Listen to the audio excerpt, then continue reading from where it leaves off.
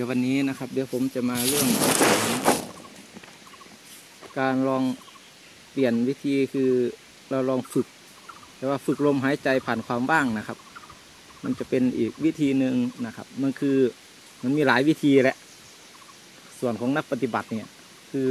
มันเหมือนเราจะว่ายน้ำเนี่ยนะครับ เราต้องเรียนรู้ว่าทำไมการว่ายน้ำถึงมีมันหลายท่าจังเลยอะนะกันเชียงมั่งว่ายกบมั่งอ่า อะไรมั่งเยอะแยะน่ะนะครับ แต่ผมไม่รู้แต่ว่ารู้แต่ว่า การว่ายน้ำเนี่ยกว่าจะถึงฝั่งเนี่ย มันสามารถว่ายได้หลายท่า ไม่จำเป็นต้องท่าเดียวนะครับ ไม่จำเป็นต้องท่าเดียว มันมีหลายท่ากว่าจะข้ามฝั่งได้ เหมือนกันครับหลักการปฏิบัติก็เหมือนการว่ายน้ำข้ามวัฏฏะแห่งสงสาร ก็เหมือนการว่ายน้ำข้ามวัฏฏะแห่งความทุกข์นะนะครับ ตรงนี้เหมือนกันนะครับ ตรงนี้เหมือนกัน หลักการปฏิบัติมีมาก มีอุบายมีอัฏฐาอุบายมากเลย อย่างพ่อเราคือพระพุทธเจ้า อสุภามั่ง พิจารณาอย่างนั้นอย่างนี้ เยอะแยะอัฏฐาอุบายในการทานในการรักษาศีลศรัทธาวิมุตติเจโตวิมุตติปัญญาวิมุตติโอ้เยอะแยะเกินขนมาก ก็ถ้าเทียบถึงว่าการว่ายน้ำมันก็ว่ามีหลายท่ามาก คุณจะว่ายกันเชียงก็ได้ว่ายตีกบก็ได้ว่ายท่าฉลามเออว่ายท่าอะไรก็ได้ เยอะแยะเกินขนในท่านั้นนะเกิดจะไปท่าไหน คุณก็ว่ายไปได้ แต่ขอให้คุณข้ามฝั่งไปได้ ก็พอ เหมือนการการประพฤติปฏิบัติของเรานะครับ คุณจะเอาแนวทางไหน คุณมีฉันทะแบบไหนนะครับ พึงพอใจในขบวนการในการประพฤติปฏิบัติ แบบไหนวิธีการอย่างไรนาบคุณก็ประพฤติปฏิบัติไปนาบมันเหมือนว่าคุณจะว่ายน้ำท่าไหนก็ช่างเถอะนะครับว่ายได้หลายท่าก็ช่างนาบแต่มันสามารถทำให้คุณรอดพ้นนาบจากการตกน้ำตายนาจากการเหนื่อยล้าอ่อนล้าโรยแรง และตายกลางน้ำข อให้คุณสามารถเอาตัวเองนะครับหลุดรอดไปแล้วก็ข้ามฝั่งห่วงน้ำนี้ไปได้นะครับ เท่านั้นก็พอ เหมือนกันครับหลักการปฏิบัติก็เหมือนกันครับ มีหลายอุบายมีหลายวิธีการนะครับขอให้คุณจะทำยังไงก็ได้ คุณเอาแนวทางในการปฏิบัติอย่างไรก็ได้ ขอให้คุณพาตัวคุณว่ายน้ำข้ามวัฏฏะ แห่งความทุกข์ข้ามวัฏฏะ แห่งความคิด ข้ามวัฏฏะ แห่งค่าความหมายนะครับ ข้ามวัฏฏะ แห่งอุปทานแห่งความทุกข์ข้ามสังสารวัฏนี้ไปได้ก็พอ คุณจะว่ายท่าไหนก็ช่างนะครับ คุณจะว่ายท่าใดก็ตามนะครับของคุณข้ามไปได้ คุณจะฝึกวิธีการแบบไหนก็ช่าง ขอให้คุณผ่านพ้นว่ายข้ามน้ำผ่านวัฏฏะแห่งความทุกข์ได้ก็พอนะครับ นี่ก็เป็นอีกนะครับ วิธีการหนึ่งนะครับนะครับ ผมเรียกมันว่าลมหายใจนะผ่านความว่างนะครับ เป็นหลักฝึกปฏิบัตินะครับ ใช้ลมหายใจนะผ่อนกาย ผ่อนกาย คลายตึงเครียดนะครับความตึงเครียดนะครับ ที่เกิดจากการงานปัญหาชีวิต ความหมกมุ่นในการงานนะครับในปัญหาในการดำเนินชีวิต ความวิตกความกังวล ความคาดหวัง ความปรารถนา ความคิดความฟุ้งซ่านนะครับ ความกังวลในอดีตบ้าง อนาคตบ้าง กังวลเรื่องลูกบ้าง เรื่องผัวเรื่องเมียเรื่องหน้าที่และการงานนะครับ ตลอดทั้งความเจ็บไข้ได้ป่วยนะครับ อีกหลายสิ่งหลายอย่างร้อยแปดพันอย่าง ที่เรากังวลที่เราทุกข์นะครับ มากมายนะทีนี้ไอ้ร่างกายของเราเนี่ยครับนะครับมันไปตกเป็นที่รองรับ เป็นที่รองรับอารมณ์นะที่รองรับของขยะ ขยะทางความคิดนะครับ ขยะอารมณ์ ความกังวลนะครับ อันเป็นขยะทางความคิดเหล่านี้นะครับ กลายเป็นความเครียด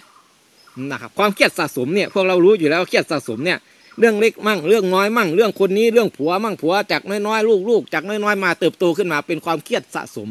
เป็นดินพอกหางหมู เป็นความเหนื่อยหนักในคน เบื่อหน่ายคนนี้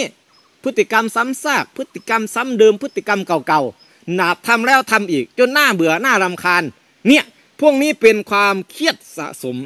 นะครับ เมื่อความเครียดสะสมตรงนี้แค่เห็นหน้ามันก็เบื่อขี้หน้ามันแล้ว เห็นหน้ามันก็โอ้หมิ่นเบื่อเบื่อหน้ามันแล้วขิวหม็น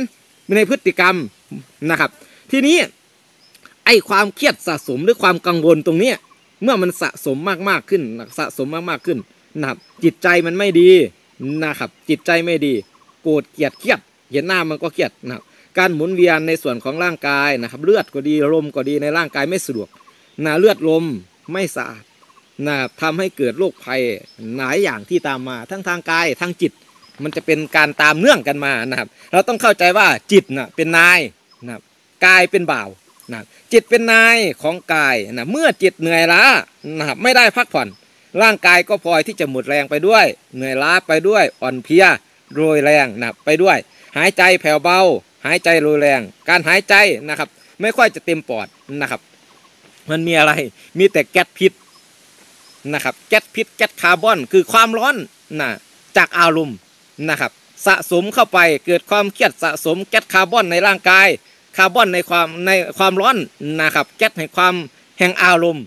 อ่าละอองแห่งความคิดนะฝุ่นละอองทางความคิดเหล่านี้นะมันเป็นแก๊สเป็นอารมณ์ที่ตกค้างนะครับอยู่ในเลือดของพวกเรานะพอร่างกายของเราเนี่ยมันก็จะไม่กระฉับกระเฉงนะครับ มันก็อ่อนเหนื่อยเพียเหนื่อยเหนื่อยนะครับ เพราะหลักการหายใจของเรานะครับ การเติมออกซิเจนในเลือดน้อย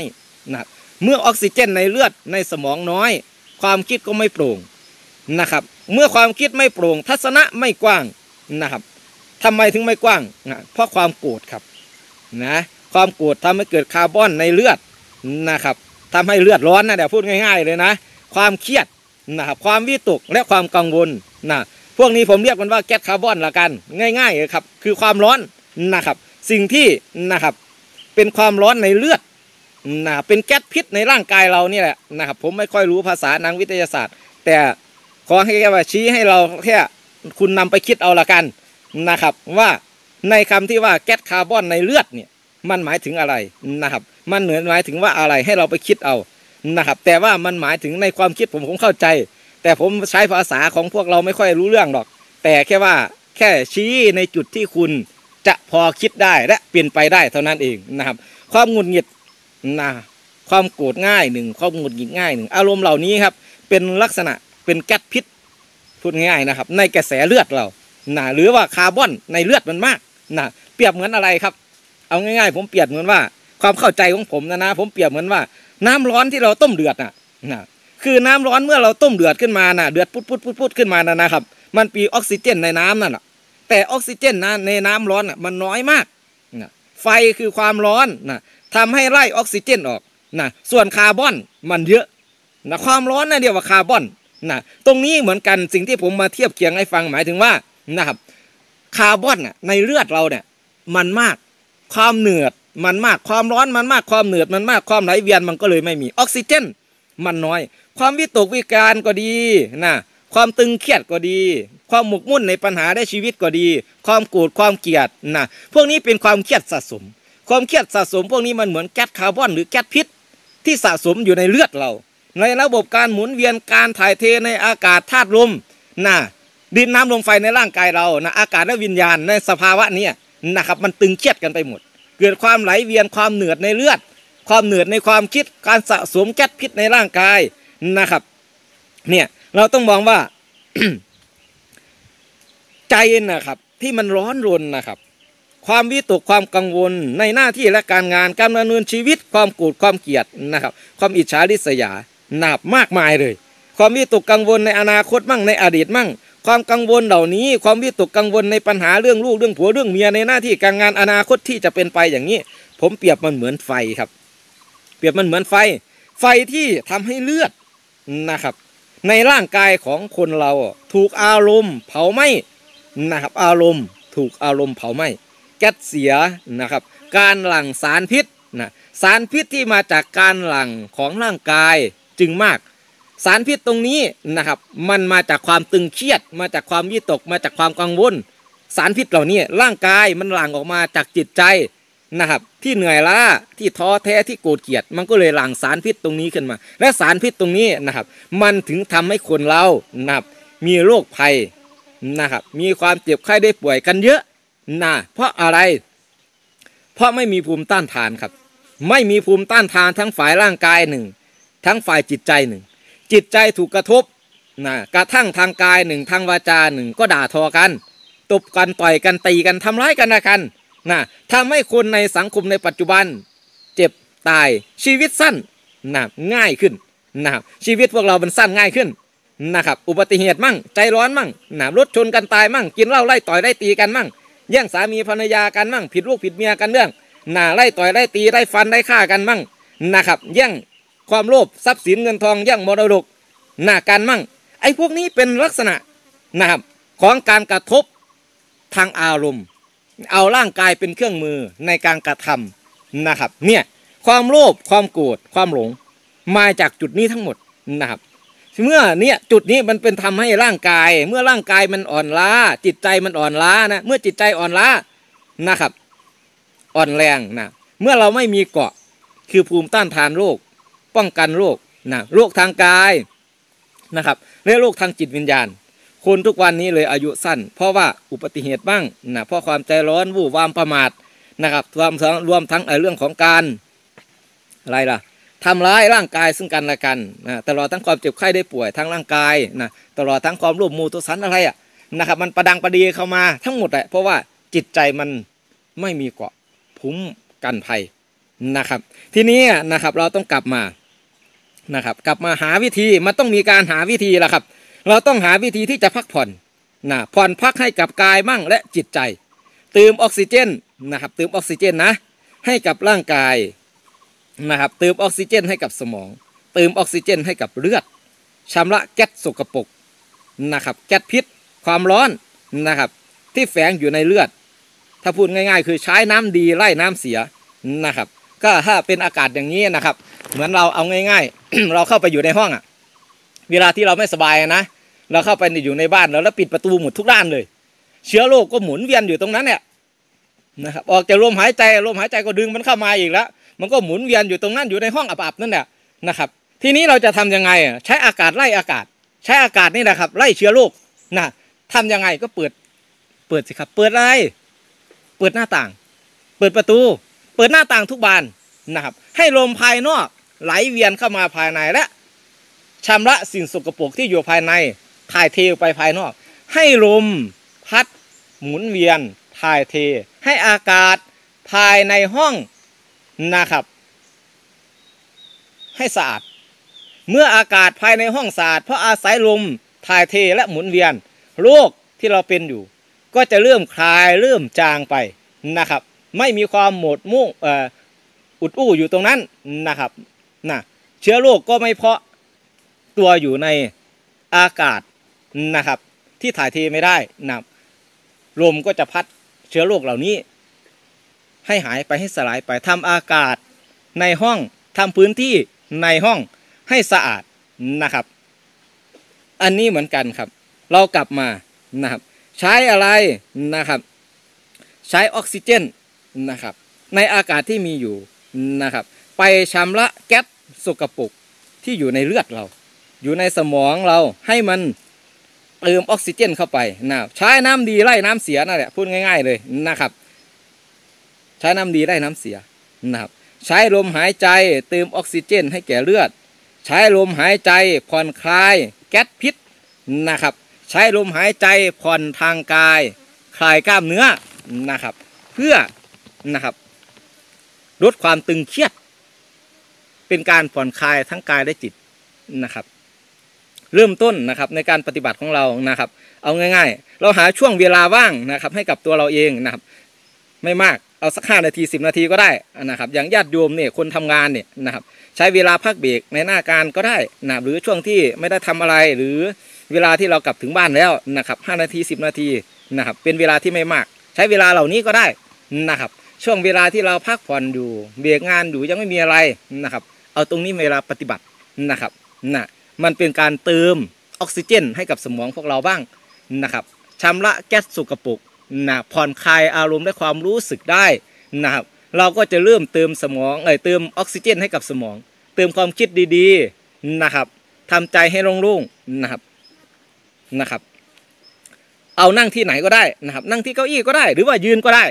นะครับ เอาตรงไหนก็ได้นะครับ แล้วลืมตานะครับ ลืมตานะไม่ต้องหลับตานะ ลืมตา นะครับทำความรู้สึกตัวนะในกิริยาที่เรานั่งหรือยืนอยู่นะครับคือน้อมรู้สึกตัวก่อน ให้รู้กิริยาที่เรานั่งอยู่ ยืนอยู่นะครับว่าแขนก็ดีขาก็ดีหน้าก็ดีคอก็ดีอกหรือไหล่เข่านะวางอยู่อย่างไร เพื่ออะไรครับ เพื่อเรียกสติ คือความรู้สึกตัวให้กลับมา รู้สึกตัวอยู่กับตัวเราเองในปัจจุบันขณะนะครับ พื่อเรียกสติกลับมานั่นเองนะครับเมื่อเราก็นะครับรู้กิริยาที่เรายืนอยู่นั่งอยู่ว่าแขนว่าขาว่าหน้าว่าคอว่าอกว่าไหล่ว่าเขา่าวางอยู่อย่างไร นั่นคือตัวเรียกสติกลับมา เมื่อเรียกสติกลับมารู้สึกตัวแล้วนะครับ ทีนี้ลองกวาดสายตานะ กวาดสายตาเรามองออกไปข้างหน้าครับนะครับ กวาดสายตามองไปข้างหน้านะครับ มองออกไปข้างหน้าแล้วเรามองไปที่อากาศ เข้าใจคำว่ามองที่อากาศไหมคือมองไปที่ความว่างครับ ความว่างที่อยู่ข้างหน้าเรานะครับมองดูที่ความว่าง ในความว่างตรงนี้มองไปที่ความว่างที่อยู่ข้างหน้าเรานะแล้วก็มองให้กว้างๆนะทำใจให้เหมือนอากาศทำความรู้สึกให้เหมือนอากาศนะมองให้กว้างๆทำใจให้กว้างๆเหมือนอากาศ เหมือนความว่าง ความว่างนั่นแหละครับนะครับ มองให้กว้างๆนะแล้วก็ ผ่อนคลายนะครับให้มันรวมหลวมทำความรู้สึกให้มันรวมหลวมเหมือนอากาศที่ว่างเปล่านะครับ เหมือนอากาศที่ว่างเปล่านะครับ มองไปที่อากาศนะ พอมองไปที่อากาศแล้วนะทำความรู้สึกให้เหมือนอากาศที่ว่างเปล่านะคลายออกรุ่มหลวมนะครับพร้อมกำหนดในความรู้สึกนะครับทำใจให้ว่างนะครับ เหมือนอะไรเหมือนอากาศข้างหน้าเราครับทำความรู้สึกว่างเหมือนอากาศครับ เหมือนความว่างข้างหน้าเรานะ เหมือนความว่างข้างหน้าเราทำความรู้สึกกว้างๆนะครับ ผ่อนคลายไม่มีขอบเขตนะเหมือนอากาศความว่าง ไม่มีขอบเขต ไม่มีประมาณนะครับ ลืมตามองความว่างทำความรู้สึกกับความว่างกว้างๆนะครับ ไปสักพักนึงนะครับคือทำความรู้สึกอย่างนี้แหละนะครับ มองความว่างนะครับ แล้วก็ ดึงลมหายใจมาผ่านความว่างแล้วมารู้สึกตัว แล้วก็ผ่อนลมหายใจออกไปนะครับ มองความว่างไว้นะนะครับ ทีนี้ค่อยๆสูดลมหายใจนะช้าๆนะครับ ค่อยๆดึงลมหายใจมานะครับลึกๆนะแต่ตาเราก็ยังลืมดูความว่างอยู่ลืมตาดูความว่างอยู่ พร้อมกับดึงลมหายใจมาลึกๆเข้ามา พร้อมกับตาดูความว่าง ตั้งพร้อมกับทำความรู้สึกให้เหมือนอากาศนะครับแล้วกับความรู้สึก ที่รับรู้ลมหายใจนะก็เหมือนนะครับเหมือนลมพัดมาในอากาศเข้าใจไหมครับนะครับ ตาเราลืมอยู่นะนะครับ ตามองความว่างนะมองอากาศอยู่มองอากาศที่ว่างๆอยู่ข้างหน้าเรา ช่วงที่เรานะครับกำลังสูดลมหายใจเข้าช้าลึกนะครับ ช่วงที่เรากำลังตามองดูความว่าง สูดลมหายใจเข้าช้าลึกนะครับ พร้อมกับทำความรู้สึกว่างๆอยู่นั้น ในขณะนั้นนะครับอาจจะมีพวกขยะทางความคิดมั่ง อารมณ์ที่เป็นขยะทางอารมณ์มั่น คือเรื่องอะไรครับคืออะไร คือเรื่องหน้าที่การงานบ้าง เรื่องลูกมั่งผัวบ้างเมียมั่งเพื่อนมั่งคนที่โกรธคนที่เกลียดมั่งคนที่รักมั่ง คนที่ชังมั่งเจ้านายหรือลูกน้องบ้างเหล่านี้นะครับช่วงที่เราดึงลมหายใจมา สัตว์บุคคลและสิ่งของเหล่านี้ ขันเหล่านี้จะปรากฏเกิดในปัจจุบันขณะนั้นนั้นหากช่วงที่ปรากฏเกิดขึ้นนั้นนะครับ เราก็คิดเสียว่านะครับ มันถูกกวาด มันถูกกวาดมา ถูกกวาดมาพร้อมกับลมหายใจเข้าครับนะครับ ลองดีนะ ช่วงเพราะเรากำลังฝึกกันเราจะเห็นพวกนี้ครับ ช่วงที่เราดึงลมหายใจแล้วทำความรู้สึกว่าง อาจจะมีเรื่องงานเรื่องลูกเรื่องผัวเรื่องเมีย เรื่องคนที่เรารัก เรื่องคนนั้นคนนี้ปรากฏเกิดขึ้นมานะครับ ก็ไม่เป็นไรนะคิดสิว่า เวลาที่เราดึงลมหายใจมามันกวาดเอาขยะทางความคิดขยะทางอารมณ์ขยะคือสัตว์บุคคลสิ่งของเหล่านี้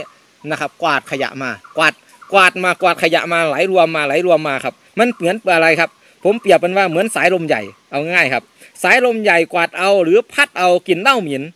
นะกินหมักหมมนะครับ ของเน่าเสียนะครับ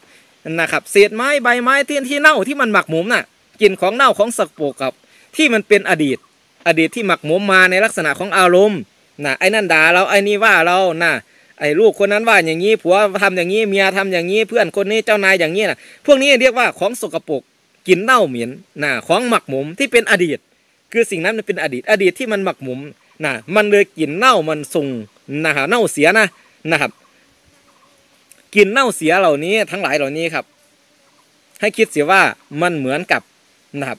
ลมที่พัดเอาความเย็นหรือความร้อนลมนะที่พัดเอากลิ่นหอมและกลิ่นเหม็นมากระทบเรานะครับ ความรู้สึกที่เราช่วงที่เราดึงลมหายใจมา ก็ให้คิดเสียว่าสัตว์บุคคลสิ่งของที่เกิด ในขณะที่เรากำลังดึงลมหายใจมา สูดลมหายใจมา มันเหมือนกับลมกวาดเอากลิ่นหอมและกลิ่นเหม็นลมนะครับ กวาดเอาไอเย็นและไอร้อนมากระทบเราแล้วก็สลายไป เหมือนกันครับ ความรู้สึกมันไปกวาดเอาสัตว์บุคคลและสิ่งของคนรักหรือคนเกลียดเรื่องอดีตเรื่องอนาคตก็ที่ที่ผุดเกิดขึ้นมากวาดมาพร้อมกับลมหายใจเรานับกวาดนับ เมื่อกวาดมาแล้วครับ ให้เราคลายนับคลายไปกับลมหายใจนับคลายออกค่อยๆผ่อนลมหายใจ จางออกคลายออกไปกับสายลมนะครับทำให้อากาศบริสุทธิ์ทำให้อากาศบริสุทธิ์นะครับทำให้ลมหายใจบริสุทธิ์นะครับ ตรงนี้ก็เหมือนกันครับ ลมที่กวาดเอานะครับกลิ่นหอมและกลิ่นเหม็นความเน่าความสกปรกโสโครกในพื้นที่ตรงนั้น มันทำให้บริเวณนั้นสะอาดขึ้นนะครับกลิ่นที่รุนแรงจางคลายนะ เหมือน เชื้อสกปรกที่หมักหมมหนะอยู่ในบ้านหนะแค่เราเปิดหน้าต่าง ลมก็จะทำความสะอาดภายในบ้าน คือกำจัดเชื้อเหล่านี้ให้จางให้คลายไป ให้อากาศภายนอกเข้าไปล้างอากาศภายในให้เกิดความบริสุทธิ์ ความสะอาดหนะไล่สิ่งสกปรกคือเชื้อโรคออกจากในบ้านในเรือนเราเหมือนกัน เวลาที่เราดึงลมหายใจเติมออกซิเจนเข้าไปอย่างนี้นะครับ มันกวาดเอาสัตว์บุคคลสิ่งของเรื่องวิตกและเครื่องกังวลทั้งหลายทั้งปวงนะทิ้งไปพร้อมกับการคลายลมหายใจออกผ่อนคลายลงไปนะครับผ่อนคลายลงไปพร้อมกับให้มันคลายทิ้งไป ให้มันจางคลายไปให้มันทิ้งไปนะครับ ตรงนี้นะครับหรืออะไร หรือเปรียบเอากับฝนนะฝนหาใหญ่นะน้ำฝนที่ไหลมารวมกันนะครับนำเอาพวกอ่ากวาดเอาขยะนะพวกขยะมูลฝอยกิ่งไม้แห้งบ้างหญ้าแห้งบ้างใบไม้แห้งบ้างนะเท้าวันกิ่งไม้เศษไม้ต่างๆนะครับ ที่มันขวางลำธารนะขวางทางน้ำนะนะครับ ขวางทางขวางทางน้ำนะครับ แล้วก็ไอ้น้ำตรงนี้นะฝนหานี้นะมันก็จะกวาดชำระสาสางลำธารคูคลองนะครับ ให้สะอาดให้โล่งให้ปร่งนะชั้นใดกว่าชั้นนั้นนะครับ เวลาที่เรากวาดลมหายใจมานะเข้าช้าลึก ช่วงที่เราสูดลมหายใจอาจจะมีขยะทางความคิดมั่ง คิดง่ายๆอย่างนี้ครับขยะอารมณ์มั่งขยะความคิดมั่ง คือเรื่องงานเรื่องคนเรื่องลูกเรื่องผัวเรื่องเมียเรื่องเพื่อนเรื่องฝูงเรื่องพี่เรื่องน้อง เรื่องเจ้านายเรื่องอดีตเรื่องอนาคตอ่านะสิ่งเหล่านี้นะครับ ที่ผุดเกิดขึ้นปรากฏเกิดขึ้นนะให้กวาดนะครับไปพร้อมกับลมหายใจนะเข้าช้าลึกนะครับเมื่อสูดลมหายใจเข้าช้าลึกสุดแล้วนะครับ ก็คลายผ่อนลมหายใจออกช้าๆนะครับนะเวลาผ่อนคลายลมหายใจออกช้าเนี่ยตาก็มองที่อากาศความว่าง ข้างหน้าไว้นะครับ คลายลมหายใจนะครับ ไปกับความว่าง คลายสัตว์บุคคลสิ่งของลูกเมียเพื่อนการงานปัญหาชีวิต อดีตอนาคต อารมณ์แห่งขยะนะครับขยะทั้งหลายที่กวาดมา ให้คลายไปกับความว่าง ผ่อนคลายไปกับความรู้สึกที่ว่างๆนะครับเอาความรู้สึกผ่อนคลายไปกับลมหายใจ ผ่อนผ่านความว่างนั้นนะครับ เหมือนสายลมพัดผ่านอากาศนะครับ พัดให้อากาศบริสุทธิ์ ให้อากาศสะอาด ไล่สิ่งสกปรกในอากาศนะทำให้อากาศไล่มลภาวะที่เป็นพิษ เหมือนกันครับ เราก็ผ่อนลมหายใจผ่านความว่าง ผ่อนความรู้สึก คลายความรู้สึกผ่านความว่างก็ฉะนั้นนะครับ เพื่อไล่อะไรไล่อารมณ์ขยะ ความคิดขยะของสกปรกลกลุงลังในสมอง ความคิดและจิตใจ ให้คลายให้จางไปกับอากาศนะครับไปกับความว่างนะครับ ความรู้สึกว่าง พร้อมกับลมหายใจที่คลายออกนะครับสลายออกนะครับคลายออกไปพร้อมกับการหายใจออกนะครับ แล้วก็เมื่อสุดแล้วก็ทำใหม่นะครับ มองความว่างเหมือนเดิมนะมองอย่างกว้างๆนะครับนะครับทำทำใจหรือทำความรู้สึกให้เหมือนอากาศนะว่างๆรวมๆนะครับ ไม่ต้องจริงจังอะไรมากนะครับ อย่าไปกดดันอะไรให้มากนะแล้วก็ให้หายลมหายใจของเราเป็นตัวผ่าน นะครับสูดลมหายใจนะครับ ตาก็มองดูความว่างเหมือนเดิมนะครับ แล้วก็ทำความรู้สึกว่างทำแบบกว้างๆทำความรู้สึกแบบกว้างๆว่าง พร้อมกับรับรู้นะครับ ลมหายใจเข้าช้าลึก พร้อมกับกวาดเอาอารมณ์ขยะ ความคิดขยะนะครับ สิ่งต่างๆที่ปรากฏเกิดขึ้นนะในปัจจุบันขณะให้กวาดไปพร้อมกับลมหายใจครับนะให้เหมือนสายลม พัดกวาดกลิ่นเหม็นของสกปรกในอากาศ พัดไอร้อนกลิ่นสกปรกให้จางไปคลายไปในอากาศทำความรู้สึกให้เหมือนอากาศที่ว่างเปล่า อยู่ภายหน้าเรานะครับ สิ่งที่ปรากฏเกิดขึ้น คือสัตว์บุคคลสิ่งของหน้าที่และการงานอดีตอนาคตและสิ่งต่างๆ ให้เปรียบเสียว่าเหมือนเศษฝุ่นสิ่นสกปรกกลิ่นเน่าเหม็นกลิ่นหมักหมมของเศษไม้ใบหญ้าที่แฝงอยู่ในอากาศ ความแปรเปลี่ยนและจางคายของสิ่งต่างๆนะครับ รียบเหมือนสายลมนะครับอารมณ์และความรู้สึกต่างๆนะเหมือนความว่างนะทำให้สิ่งต่างๆ จางคลายไปผ่อนคลายความรู้สึกทั้งปวงเหล่านี้นะครับให้หายไปกับความว่างไปกับอากาศ ให้หายไปกับลมหายใจนะใช้ลมหายใจผ่อนกาย คลายตึงเครียด ผ่อนลมหายใจออก คลายลมหายใจออก พร้อมกับทำความรู้สึกนะครับที่ว่างเหมือนอากาศที่ว่างเปล่าอยู่ข้างหน้าเรานะครับ ความวิตกก็ดี ความกังวลเรื่องอดีตอนาคตครอบครัวการงานอะความรู้สึกนะต่างๆเขาคิดเสียว่ามันเหมือนเศษฝุ่นกลิ่นหอมเหม็นไอร้อนไอเย็นนะครับ ที่โชยพัดผ่านมาในอากาศ เท่านั้นเองนะสิ่งทั้งปวงก็เท่านั้นนะเป็นธรรมดาอย่างนั้นนะครับ มีความเกิดขึ้น แล้วก็แปรเปลี่ยนไปอยู่อย่างนั้นนะทั้งความผิดก็ดีนะเหมือนความถูกก็ดี ความได้ก็ดี ความเสียก็ดีนะครับ ความแพ้และความชนะ ความผิดหวังและความสมหวัง ความสุขและความทุกข์นะครับ มันก็เปรียบเหมือนกับกลิ่นหอมกลิ่นเหม็นมันก็เปรียบเหมือนกับไอร้อนและไอเย็นนะที่ปรากฏเกิดขึ้นในอากาศ แล้วก็สายลมนะครับ ก็พัดพาให้แปรเปลี่ยนไปนะครับธรรมดาของอารมณ์นะครับ และความรู้สึกต่างๆ ก็เป็นอย่างนั้นนะครับ มีความเป็นอยู่อย่างนั้นนะถ้าใจเรานะเกิดการยอมรับในความแปรเปลี่ยนของสิ่งต่างๆได้ เราก็จะ ไม่ทุกข์นะครับ เพราะว่าไม่ใช่เราคนเดียวที่จะต้องเผชิญกับความแปรเปลี่ยนของธรรมชาตินะครับ บุคคลทั้งหลายสิ่งมีชีวิตทั้งหลายนะครับ ก็เผชิญกับความแปรเปลี่ยนอยู่อย่างนี้นะธรรมดาถ้าเราเริ่มมองเห็นความเป็นธรรมดาครับ เราก็จะเริ่มค้นพบความว่างที่ปราศจากทุกข์ความว่างที่ไม่เข้าไปยึดถือไปสำคัญมั่นหมายนะว่าเป็นเราว่าเป็นของเราอย่างนี้ครับ ทุกสิ่งอย่าง ก็เหมือนเศษฝุ่นในอากาศนะเหมือนกินในสายลมนะครับ ทุกความแปรเปลี่ยนแค่อารมณ์ แค่เวทนา แค่ความรู้สึก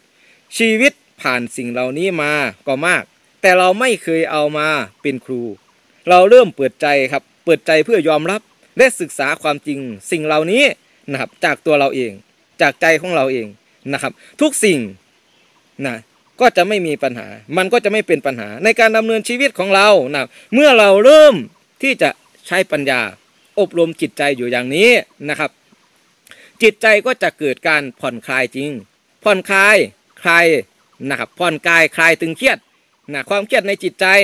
นะครับปัญญาก็เหมือนสายลม ถ้าพูดง่ายๆนะครับ ปัญญาเราก็เหมือนสายลมนั่นแหละ พัดเอาอารมณ์มั่งนะครับขยะทางความคิดมั่ง สิ่งที่หมักหมมไว้ในอดีตมั่ง ความผิดและความถูกมั่งความได้และความเสียมั่งนะครับ ความแพ้และความชนะมั่งความโกรธและความขุ่นความเคือง ในสัตว์บุคคลสิ่งของนะครับ มันจะได้กวาดกวาดเอาขยะเหล่านี้ให้คลายไปให้สลายไปคลายนะครับให้คลายทุกออกออกจากจิตใจนะครับก็เท่ากับขับไล่สารพิษที่ร่างกายผลิตจากความเครียดนะเป็นการเติมออกซิเจนนะครับให้แก่เลือดพวกเรานะ ให้แก่สมองนะให้ให้เลือดให้มันสะอาดนะให้สมองให้มันไม่โรกลุงลังนะให้สมองเปิดโล่งนะจะได้มีมุมมอง มีทัศนะที่กว้างขึ้น มุมมองการงาน มุมมองชีวิต มุมมองในปัญหานะมองชีวิตมองปัญหาให้ได้กว้างขึ้น ไม่ตีกรอบให้กับตัวเอง ไม่คับแคบใจกว้าง ปัญญากว้าง ความคิด ความอ่านกว้างขึ้น ทัศนะในแง่มุมต่างๆนะครับก็จะเด่นชัดขึ้นนะครับ สิ่งนี้นะครับลองพยายามทำบ่อยๆนะครับ เมื่อมีโอกาสได้กี่นาทีก็ช่างมันนะมันทำได้นะเราจะได้เติมออกซิเจนให้กับเลือดนะครับ ให้กับร่างกายของเรานะครับ มันคือตัวเติมสติ เติมสมาธิและเติมปัญญาให้กับจิตใจนะครับ เติมอาหารให้แก่จิตใจ จิตใจจะได้มีภูมิต้านทาน นะครับต่อเมื่อกระทบต่ออารมณ์ กระทบต่อสัมผัสทางอายตนะนะจะได้ไม่ฟุ้งซ่าน ไม่อ่อนแอนะไปกับค่านิยม หรือว่าความหมายในทางโลกนะครับส่วนร่างกายของเราก็จะมีภูมิต้านทานต่อโรคต่อภัยนะครับพอเลือดสะอาดหนึ่งสมองได้ออกซิเจน การไหลเวียนและการถ่ายเทในระบบของร่างกายก็ไม่ติดขัดนะครับไม่ขัดข้อง สามารถถ่ายเทของสกปรกได้ เชื้อโรคโรคภัยต่างๆนะครับให้ออกจากร่างกายได้ ร่างกายก็จะมีระบบรักษาของตัวเอง เมื่อจิตใจดีร่างกายก็จะผลิตสารที่ดีนะมาดูแลรักษาร่างกายได้เองนะเมื่อจิตใจดีร่างกายดีนะก็เกิดความสมดุลที่กายทั้งกายและจิตนะครับ เราก็พร้อมที่จะทำหน้าที่การงานต่อไปมีกำลังทั้งทางกายทางใจนะมีภูมิต้านทานโรคภัยทั้งทางกายและทางจิต จิตผ่อนคลาย ใจผ่อนพักนะครับ เมื่อมีกำลังนะทางกายจิต การบริหารชีวิตการงานครอบครัวนะครับและหลักในการดำเนินชีวิตในสังคมนะก็จะประกอบกันไปได้ทำให้ชีวิตและครอบครัวมีความสุขนะครับเอาอ่าสิ่งที่อาจารย์นะบอกสอนเนี่ยอาจารย์เรียกมันว่าลมหายใจผ่านความว่างนะคือจิตนะผ่อนคลายกายผ่อนพัก เพื่อเพื่อให้ร่างกายได้จิตใจของพวกเราได้พักผ่อน นะได้ผ่อนได้พักผ่อนบ้างนะจะได้ปรับสมดุลให้กับกายให้กับใจ ให้มีกำลังในการทำหน้าที่นะการงานและหลักในการดำเนินชีวิตต่อไปนะเติมอาหารให้แก่จิตใจ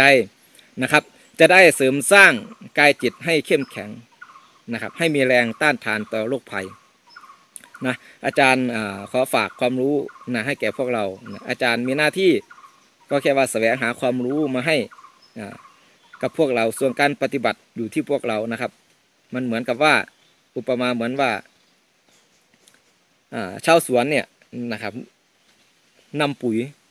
อาหารน้ำพรวนดิน ถอนวัชพืชนะให้แก่ต้นไม้นะใส่ใจให้อาหารให้กับต้นไม้นะครับใส่ปุ๋ยรดน้ำให้แก่ต้นไม้นะครับ นั่นคืออะไรนั่นคือหน้าที่ของชาวสวนนะครับ หน้าที่ของชาวสวนคือหาปุ๋ยมาให้ เอาน้ำมารดให้ หาอาหารมาให้พรวนดินให้ถอนวัชพืชให้นะให้แก่ต้นไม้นะใส่ใจในการดูแลให้อาหารใส่ปุ๋ยนะครับนั่นคือหน้าที่ของชาวสวนนะส่วนการดูดซับอาหาร ดูดซับน้ำนะดูดซับส่งสารอาหารนะครับให้ไปเลี้ยงให้แก่ใบแก่ดอก ให้ออกหมากผลนั่นมันเรื่องของเรื่องของต้นไม้ครับ เรื่องของรากนะครับเรื่องของการกระทำหน้าที่ของต้นไม้นะครับครูอาจารย์ ก็เหมือนชาวสวนนะครับ ครูอาจารย์เหมือนชาวสวนนะ หาอาหารมาให้เรา